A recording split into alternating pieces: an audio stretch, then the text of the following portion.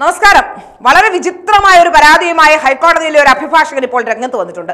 കേരളത്തിൽ R S എസിനെ നിരോധിക്കണമെന്നാണ് ഇയാളുടെ ആവശ്യം. ഇയാൾ സംസ്ഥാന പോലീസ് മേധാവിക്ക് പരാതിയും നൽകി കഴിഞ്ഞു. ഹൈക്കോടതിയിലെ അഭിഭാഷകനായ അനൂപ് വി ആർ ആണ് പരാതി നൽകിയിരിക്കുന്നത്.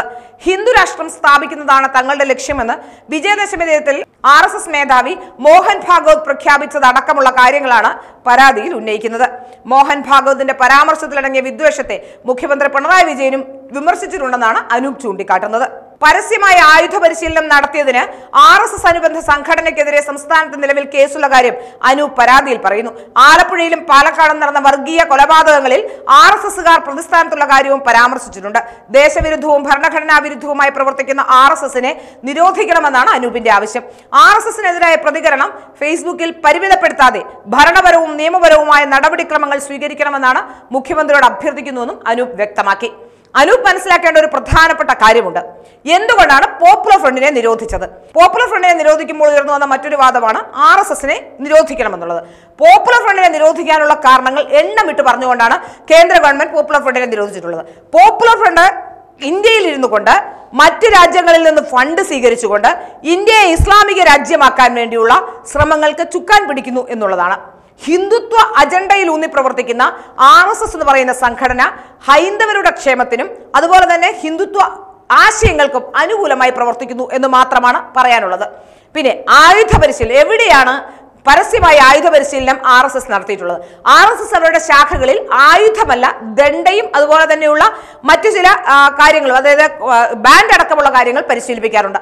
അത് ആയുധ പരിശീലനമല്ല. പിന്നെ രാഷ്ട്രീയ കൊലപാതകങ്ങളിൽ ബി ജെ പി എന്ന് പറയുന്ന ചില സംഘടനയിലുള്ളവർ അല്ലെങ്കിൽ രാഷ്ട്രീയ കൊലപാതകങ്ങളിൽ പെടുന്നവരെ നിരോധിക്കണമെന്നാണെങ്കിൽ കേരളത്തിലെ എല്ലാ രാഷ്ട്രീയ പാർട്ടികളും നിരോധനത്തിന്റെ പരിധിയിൽ വരും.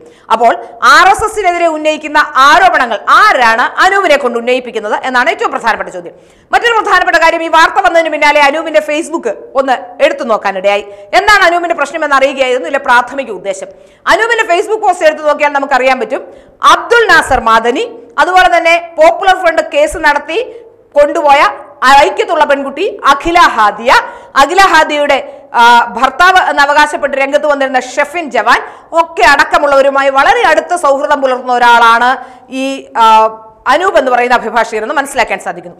അനൂപ് എന്ന് പറയുന്ന അഭിഭാഷകനെ സംബന്ധിച്ച് നോക്കിയാൽ അയാൾ ഒരു അറിയപ്പെടുന്ന കോൺഗ്രസ്സുകാരനായിട്ടാണ് ഈ ഫേസ്ബുക്ക് പോസ്റ്റുകളിലൊക്കെ ഉണ്ടെന്ന പോസ്റ്റുകൾ. പക്ഷേ അനൂപ് ഫേസ്ബുക്ക് പോസ്റ്റുകളിൽ ഈ കോൺഗ്രസ്സുകാരനാണെങ്കിൽ പോലും പലപ്പോഴും അനൂപിന്റെ നടപടിക്രമങ്ങൾ ചോദ്യം ചെയ്യപ്പെടുന്ന രീതിയിലുള്ള ചില കാര്യങ്ങൾ. അതായത് മദനിയുമായി മദനിയുടെ മനുഷ്യാവകാശത്തിനൊപ്പം ഷെഫിൻ ജവാന്റെ മനുഷ്യാവകാശത്തിനോടൊപ്പം അഖില ഹാദിയുടെ മനുഷ്യാവകാശങ്ങൾക്കൊപ്പം ഒക്കെ തന്നെയാണ് പ്രവർത്തിക്കുന്നത്.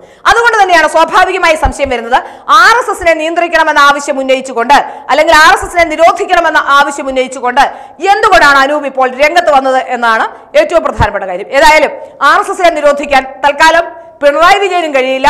അതുമാത്രമല്ല കേന്ദ്ര ഗവൺമെന്റിനും സാധിക്കില്ല. കാരണം ആർ എസ് എസ് എന്ന് പറയുന്നത് എല്ലാ അംഗീകാരങ്ങളോടും കൂടി പ്രവർത്തിക്കുന്ന ലോകം മുഴുവൻ പ്രവർത്തിക്കുന്ന സംഘടനയാണ്. കേരളത്തിൽ ആർ എസ് എസ് അല്ലെങ്കിൽ ഇന്ത്യയിൽ ആർ എസ് എസ് ഉള്ള ഉണ്ടായതുകൊണ്ടല്ല ഈ വർഗീയ സംഘർഷങ്ങൾ ഉണ്ടാകുന്നതെന്ന് അനു പറഞ്ഞിരിക്കണം.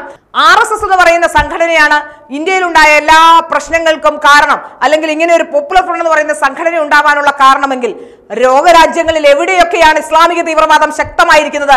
അവിടെയൊക്കെ ആർ എസ് എസ് ഉണ്ടോ? അനൂപ് ചിന്തിക്കേണ്ട ഒരു കാര്യം അതുതന്നെയാണ് ഏതായാലും ഇരുട്ടുകൊണ്ട് ഓട്ടോ അടയ്ക്കാനുള്ള അനൂപിന്റെ ശ്രമം കുഴപ്പമില്ല. പക്ഷെ ഇരുട്ടുകൊണ്ട് ഓട്ട അടയ്ക്കാൻ കഴിയില്ല അനൂപെ. അനൂപിന്റെ ഈ നടപടിക്രമങ്ങൾ കൊണ്ട് അനൂപ് ആരാണെന്ന് സമൂഹം ചർച്ച ചെയ്യപ്പെടുമെന്നതിനപ്പുറത്തേക്ക് അല്ലെങ്കിൽ ഒരുപക്ഷെ അനൂപിന്റെ ഉദ്ദേശവും അത് തന്നെയാവാം. വെറുതെ ഇരിക്കുമ്പോൾ ഒന്ന് പ്രശസ്തനാവുക എന്നുള്ള ഉദ്ദേശത്തിലാവാം. ഒരുപക്ഷെ അനൂപ് ഇത്തരത്തിലുള്ള നടപടിക്രമങ്ങളുമായി മുന്നോട്ട് വന്നത് എന്ന് മനസ്സിലാക്കാൻ സാധിക്കുന്നു. ഏതായാലും ഒരു കാര്യം വ്യക്തമാവുകയാണ്. അനൂപിന്റെ പിന്നിൽ എന്തോ ഒന്നുണ്ട്. അനൂപ് ഇപ്പോൾ ഇങ്ങനെ ഒരു പരാതിയുമായി വന്നതിന് പിന്നിൽ ഒന്ന് ഫേമസ് ആവാനുള്ള ഒരു ശ്രമം ഉണ്ടാകാം. ഒരുപക്ഷെ മറ്റേതെങ്കിലും തരത്തിലുള്ള സാമ്പത്തിക ലാഭം അടക്കം ഇതിന് പിന്നിലുണ്ടോ എന്ന് സംശയിക്കേണ്ടിയിരിക്കുന്നു.